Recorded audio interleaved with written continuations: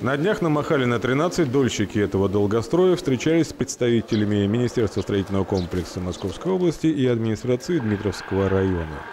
В текущем году этому строительному объекту исполнилось уже 10 лет. За эти годы обманутым дольщикам пришлось пережить немало, но, похоже, 2016 год станет годом окончания строительных работ на Махалина 13. На данный момент механизм решения проблем 362 граждан-инвесторов реализуется путем завершения строительства объекта новым инвестором с процедурой банкротства застройщика ООО «F-Групп». Объект теперь находится на особом контроле Минстроя Московской области. У вас ситуация какая вот сейчас с жильем? Я снимаю, снимаю квартиру, да. Как долго снимаете? Пятый год я уже, получается, здесь. Никак не заеду.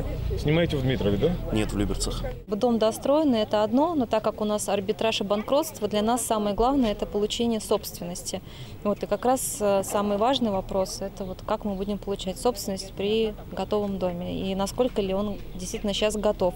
Новый застройщик, компания «Березовец», отчитался о почти полной готовности четырех секций этого многоквартирного дома и подтвердил обязательство завершить все работы на Махалина 13 в августе текущего года. Новый инвестор ускорил темпы выполнения работ, чтобы исполнить взятые на себя обязательства по завершению строительства объекта в соответствии с утвержденным графиком. Прежде всего, компания «Березовец» значительно увеличила количество рабочих на стройплощадке. На данном этапе сделано 4 секции полностью сделаны. То есть это водопровод, отопление, э, освещение, электричество, а, места общего пользования.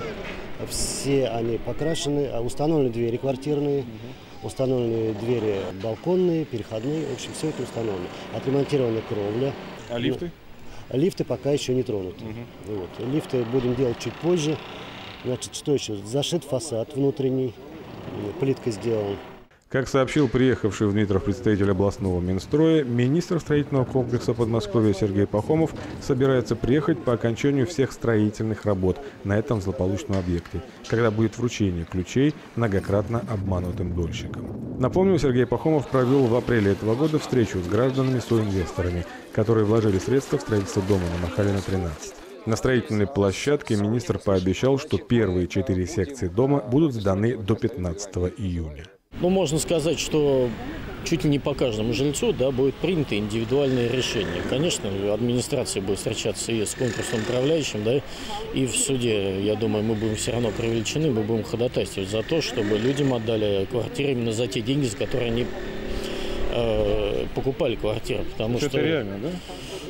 Это на усмотрение суда. Теоретически реально все. Теоретически реально, наверное, недоплата, да, я как бы не специалист по банкротству, но теоретически реально, что люди не будут доплачивать, да, опять же таки, решать будет э, суд, и э, важна будет позиция конкурсного управляющего, и нас.